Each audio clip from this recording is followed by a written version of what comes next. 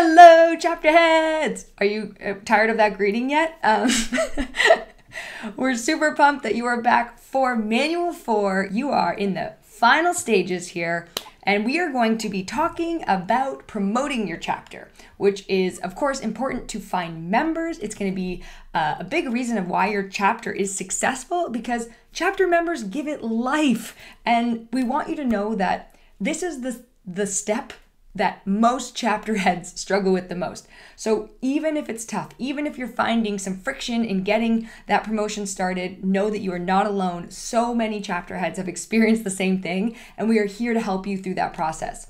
Um, because we've talked to you already about the importance of an info session where you host a session to share the opportunity with members of your school, whether that's at your chapter fair or maybe um, a big thing we're about to talk to about in a second is about social media but um, all of that to say you want to promote it out to as many people as possible so that way you can get um, as many people to actually join the chapter. The question we get asked quite a bit is, is how many members should we aim for? And really there's no answer here that is like you must have this many people um, but we encourage you to have about 10 or more chapter uh, members that you sign up. And we've had chapters that have had 100 members, and then we've had chapters that have had as little as 10 members. And so we really think um, uh, kind of having at least 10 gives your chapter some momentum, some life, some good discussions during the, the actual sessions themselves. Um, but we're not going to tell you that if you have a low number that you should just give up and walk away and there's no point because that's not true we want as much impact as possible. So we want you to, to um, you know, try to promote to as many people as possible, but there really is no right number, no number we're looking for you to have. But we have seen it be successful with at least 10 members, but you know, you can have 100, you can have 150 if there are. so, um, yeah, try to get as many members as possible at the start, and um, it'll help breathe some life into that chapter and create for lots of great discussions and, and motivation. Deepali. Yeah, let's start talk about getting started. So remember, before you can start promotion, you have to know what you're promoting. So remember to finalize the date and time of your meetings, which you should have done um, by looking at Manual 2, which is all about setting up your chapter. Create a sign-up form. We have a template available for that, and that will basically just be a form where you can sign up for your course.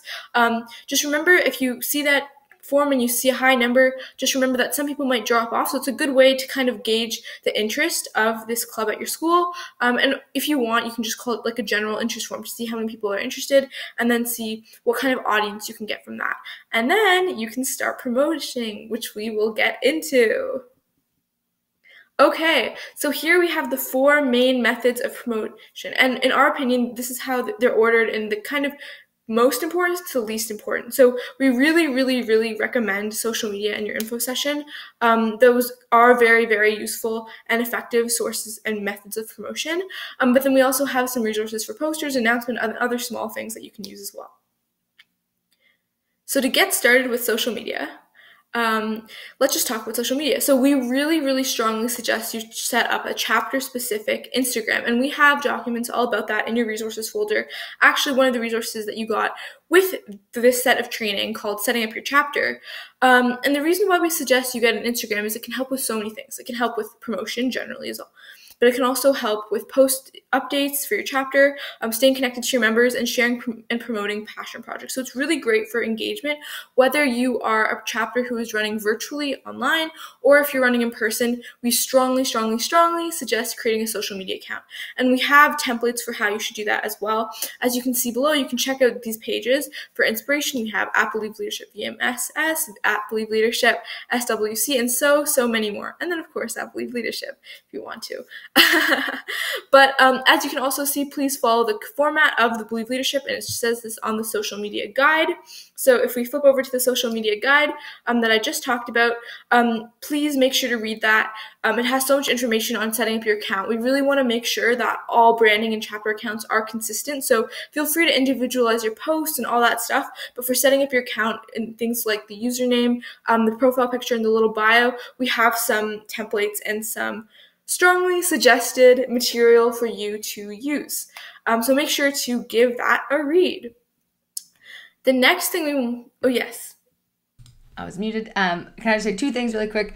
Um, one of the things I'll say is that the um, oh my gosh, I already forgot what I was going to say. well, just kidding, guys. Maybe I'll be back here in a moment. For sure. Okay, now we're on to social media stylistic guidelines. So if you've seen at Believe Leadership page or chapter pages, which are like at Believe Leadership something, um, which will be their their school name or their chapter name abbreviation, um, you'll see that we usually stick to a color scheme, which we also strongly recommend. So usually what we've seen in the past is that at Believe Leadership, the admin, um, so you know our account will kind of have a red color scheme because the colors of the Believe Initiative are like red and blue and, you know, little hints of orange. And then chapter colors will be various shades of blue. So when creating posts, please, please try to follow this social media stylistic guidelines table where we have suggested colors and as well suggested fonts, but the fonts are more up to you. Um, so for backgrounds, we have all these various shades of blue. And for accents, we have a little bit of red and a little bit of orange as well. We strongly recommend this just so we can keep everyone's posts consistent. Um, but you can definitely still be individual when you create your own posts and things like that. And here we can see some examples of social media pages as well, which is great. So as you can see what I'm talking about in the middle, in the middle we have the Apple Believe Leadership page, which you can see is red. But then on the sides we have two examples that I showcased um, that are from past chapters or ongoing chapters. And you can see they really have their own unique individual posts, which is super, super fun. So have fun with your posts. We do have templates available, which we'll talk about a little later in this video. Um, but we really want to encourage you to be creative, get to get members and, and have fun with your social media posts. I will say on this one, because I remember what I was going to say now, because this is actually a better time for it, um, is a way that you um, can seek these other pages, as Deepali just mentioned, is you just search in your uh, Instagram search button at Believe Leadership, and then suddenly you'll start seeing all these schools that like Believe Leadership APHS, Believe Leadership SWC, Believe Leadership. So you'll suddenly see all of them and you'll see how they all have the exact same icon, but with their specific school abbreviation underneath the believe leadership and then it includes their abbreviation so look to those pages honestly just go on the search function and find them and then you can follow them all because they'll follow you back and then you can start to begin to gain some of your social media following and you'll get to actually see some more of these styles that that Deepali just mentioned thank you for, for letting sure. me come back to say that yeah great point great point for sure check them out highly recommended they'll give you some great ideas as well and um, also in your post, I just one more thing. Remember to tag at Believe Leadership and Believe Initiative because as our number of chapter grows, we really want to see all your posts. But even if we're following you all, it can be hard to see all of them and like all of them and share all of them. So please make sure to tag your, um, us and hopefully every single post if possible. Um, it should only take a second when you post it, just so we can you know see what you're up to. And okay. the style guidelines that the Deepali just mentioned will come with the resources when you finish your training. So look for all that then. Yeah, okay. So, one more thing is how can you actually use social media effectively? So, I know I'm really going on and here about social media, but just because it's so, so effective. And it's really effective if you use it effectively. Just remember, as someone who is starting a chapter, starting a new organization, just because you create a social media account, unfortunately, doesn't mean that followers are automatically going to flock to your account. So there's a few tips and tricks that we have to help you use it effectively to promote and to get members. Because we all know getting members and starting something new can be hard, but not impossible. So one thing is to create engaging graphics and post them on your page. So this is kind of what we've mentioned. You can see the example post in a shared Canva folder, which we'll talk about in a second, um, as well as on other people's pages. Um, and then make sure just to have a post that tells people what the BLC is all about. And we have templates for what you can say if you don't know how to describe it as well. The second thing I would say is to follow, follow, follow. Following other people when you're just starting a social media account is really, really important because you, as a, as a social media account head, need followers so you can get an audience. You need an audience so that people can see your posts and people can be willing to join your club. So just keep in mind that not everyone who's either going to follow you or not everyone who's going to just like your posts are automatically going to be members, right? As you may have seen posts for other clubs in your school, you might like a bunch of posts from different clubs or for different school events, but that doesn't mean you're participating in all of them. So we recommend having a following to follower ratio of three to one. Of course, you can't control the followers part, but you can control how many people you follow. And so, say if you want around 100 people to follow your account because you know that maybe out of 100, 50 might be interested in your club, um, follow 300 people. And I know, once again, that might seem like a lot. You might be like, I don't even know 300 people. How am I supposed to do this? And this is where the next point comes in handy, which is called strategically mass following people who would be interested in your chapter. So when you're thinking of following people, don't just think of, you know, who would I follow? Who who do I want to appear on my page? Random celebrities. I don't know. Think about who you want your audience to be. And a lot of the times you can find your audience in um, following other social media accounts that have similar themes. So, for example, some things that we recommend are following people who follow your school Instagram account, if your school has an Instagram account, or following people who follow clubs at your school's Instagram accounts, um, because you know that they are in the same target audience. If you want to be even more efficient and more effective, you can even go to um, your school account's posts, see how many people liked it, and follow those people because you know that those people who liked posts um, in your target audience are people who don't just follow all these accounts but are actually engaged with them and they'll be more likely to be engaged with your account and if that doesn't work out you can also just follow your friends and have your friends uh, share that as well um, and follow people that you know at your school as well and then the last thing is remember to get people to repost your post. So once again, you're just starting this chapter. It can be a difficult process. But getting people to repost your post definitely takes down an obstacle and helps you spread the word even more. So get your school account. If your school has an Instagram account to repost it, you can get your school's clubs to repost it, your friends, family, whoever. Just spread the word, spread the word, spread the word. Even if you think, oh, like this person, you know, doesn't have that many followers, or I'm not sure if they'd be interested in joining. Just try to ask them to repost, um, and you'll never know where that will end up. Amazing job, Dipali. That was so much great social media stuff. Um, and as Dipali mentioned, it is one of the most important tools you can use in starting your chapter. And so make sure once we send you the resources, you check out that social media guide on exactly how to launch your chapter in, uh, Instagram account. And then all the tips that Dipali just mentioned are amazing. All right. So um, the second kind of method of promotion that we encourage and, and is the second and um, second of two mandatory promotion methods is the info session. And we really, really encourage this one as well because it's such a great way. You never really want to get yourself into something and you don't know what you're getting yourself into, right? You're like, uh, what? What are we doing?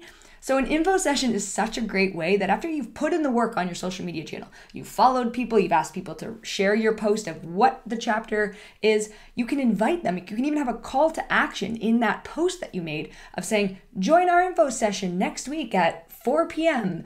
Um, at this link.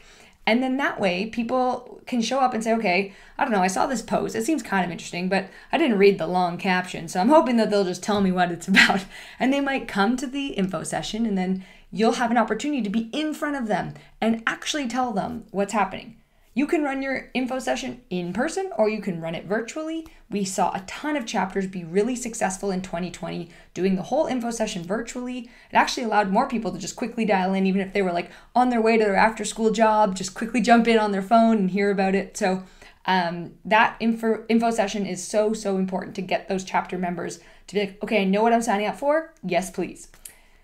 Because we want to make this as easy as possible for you, every session, including the info session, we always have the slides built for you. We always have the what to say and like the speaking points for it all. And so there's an info session slideshow available to you um, for you to use and the speaking points you can have to showcase what it is and what it's about. And we even include, as we would have heard in the, um, I think it was manual two, we talk about what's in all of your session folders. There's always a five minute quick training video of like, here's what you're going to talk about. Here's the point of the thing. This is how you can make it be super awesome. And so there'll be a five minute video on here's how to run your info session that you can watch really quick, digest that, and then head out to the races and host your info session. So that way you get everyone excited about getting on board. And just be yourself. Like be energetic, be exciting. And maybe energetic is not you, and that's totally fine too.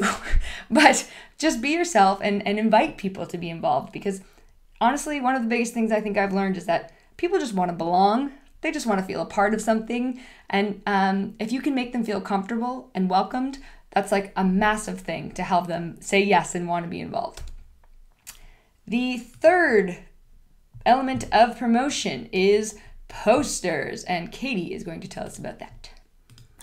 Perfect. Okay, so posters are slightly more self-explanatory than the other two methods, um, but it's still important to go over them and to see how you can optimize and maximize the reach that your posters get for you. Okay, so a couple things when creating your posters, things that you might want to include, things like the date, the time, the location, and the virtual platform that you will be using for your chapter and your meetings. Um, having all that information is really important for the logistics sort of thing. Um, you can also have a registration link for or your virtual platform code. For example, if you are on Google Classroom, you might want to put in your Google Classroom join link. Um, so you can see in the bottom right corner of that little blue poster example there, you can see the little uh, classroom icon. You would put your classroom code next to it. Um, so something like that can help your members to have access to the resources and to uh, right away just kind of join that Google Classroom and see if they're interested in this or not. Um, and again, you can do this for any sort of virtual platform that you have. Uh, most of them have invite links, so you could be able to put that in to your poster there. Um, okay, so uh, if you have a registration link, as in like a Google form or some sort of other survey link, you can use that and put into a bit.ly format so that it's easier to remember and easier to type for someone um, who's just kind of like looking at your poster and is typing it into their phone. You could also use QR codes. All of those are available techniques as well. And like Sarah mentioned, for the uh, for the info session, you might want to have a call to action in your poster as well. So something like uh, follow us here on Instagram for more updates, or join our Google Classroom, or our next meeting is at this time, whatever it is. So having those call to actions, listing your info session time even, um, are great ideas to have in your poster here. Um, also, you want to include what the BLC is. So that would be like any sort of buzzwords you have. That might be leadership. It might mean volunteer hours, certificate of completion, uh, leadership skills, passion project, impact, creating change, things like those. Having buzzwords is very important to describe the BLC and to really attract the people that you want to attract, right? So someone who is interested in all those things, someone who is interested in creating change. Um, so describing what the BLC is, having your logistics all down there, all of that will be very important. And then when you're hanging up your posters, make sure you put them in areas people will be likely to stop and to look at them. That might be bathrooms, that might be around water fountains, or in waiting areas such as an office.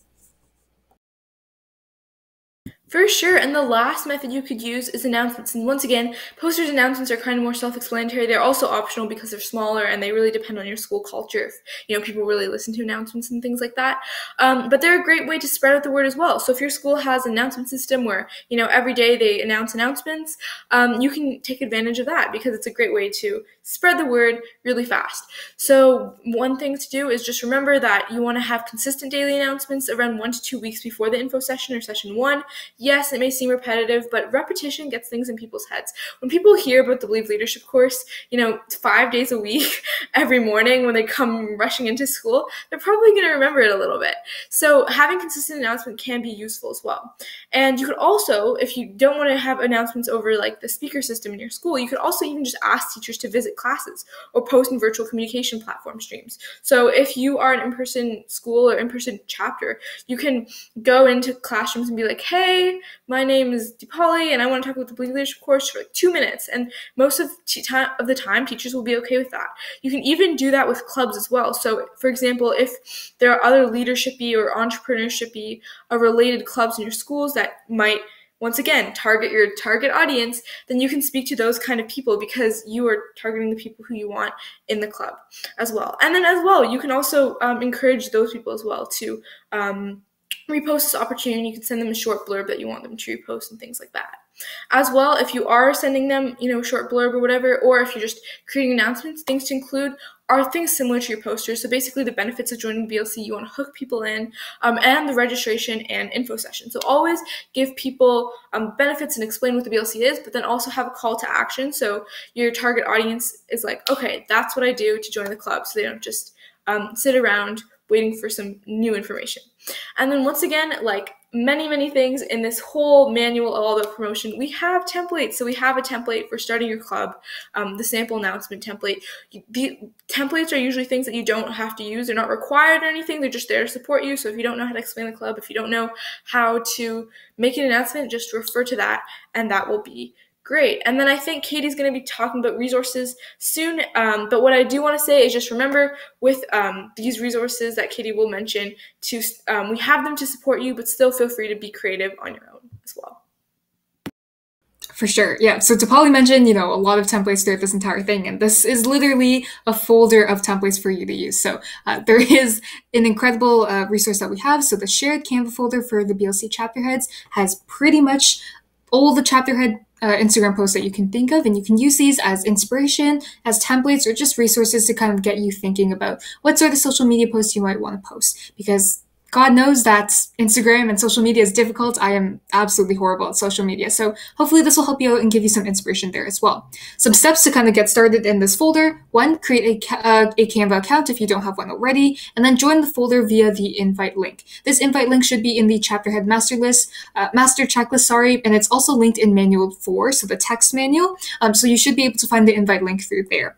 You can use the posts in the folder as templates or as inspiration, so you can either uh, make a copy of them and then move them to your own folders and customize accordingly to your chapter, or you can just use them as inspiration for what kind of like ideas you might want to post. For example, the first post of your Instagram might be um, all about the BLC and talking about yourself as a chapter head, introducing yourself, um, that sort of thing. You might have a post with a leadership quote um, and use that as promotion for the uh, for the sign up list and say, um, here's a leadership quote, and also like remind people to um, sign up on your list. So something like that. Um, so of course, all the ideas in this uh, template folder can help you to kind of get started on that. Um, you can also add your own graphics here to share the wealth and to share templates and resources with the other chapter heads. Um, that's definitely welcome as well. And like DePaul has mentioned, we highly encourage you to make your own posts too. Please don't just copy and paste and duplicate all of these templates. We'd love for you to have some unique things and to bring a little more flavor into your chapter head Instagram um, as well. Um, okay, there's also a profile picture in the shared Canva folder, which I think is something important to mention, just to keep the branding consistent and to make sure that um, all the chapters are easily recognizable. You can see down here, I think in the second row, the third one over there should be the BLC chapter uh, template for the profile picture. So once you use that, you can set up your Instagram account too. Um, we highly recommend finishing your training before you set up your social media, um, just so you have everything in place and you know what's going on before you can really set that up. Uh, so that might be something you want to keep in mind as well. Amazing. I love how you said um, if you make some some uh, great graphics, share the love. Put them in the shared folder because we have had some really amazing, um, creatively gifted individuals get in there and uh, create some stuff that I'm like, whoa, this looks amazing. um, and as always, how we end these videos is with the contact information where you can reach any of us with the Believe Leadership um, at gmail.com or on either of the handles Believe Initiative or Believe Leadership. But of course, our main channel that you should look to to ask questions is in the Slack channel that you will get an invite to when you finish your training. And so there's questions for admin as a thread in that channel. So you can reach out there. And I just want to say one more time that promotion is one of the hardest parts of being a chapter head and getting that traction. So please don't be discouraged if things are a bit tough. We had um, chapter heads who ran what I think two or three info sessions to gather their members together. And so it is possible. Sometimes it takes just a little bit of resilience. And come on, it's the whole point of the program, right? That's just your way of building resilience. So we know it's tough, but we are here to support you. And please don't be discouraged if it is, you know, a bit rough at the start. But um, it is possible. And we've seen chapters be incredibly successful using the methods we just talked about here today. So great work, everyone. They only have one more manual left. Can, can you believe that? Oh my goodness. one more left, guys. This is the second last, and you're you're almost there. When we see you next, you will be in your final stage, and you'll be ready to hit the ground running. Shall we send them off? Yes, we should. Three, two, one. Great job, guys. Great job, everyone. See you at the last manual.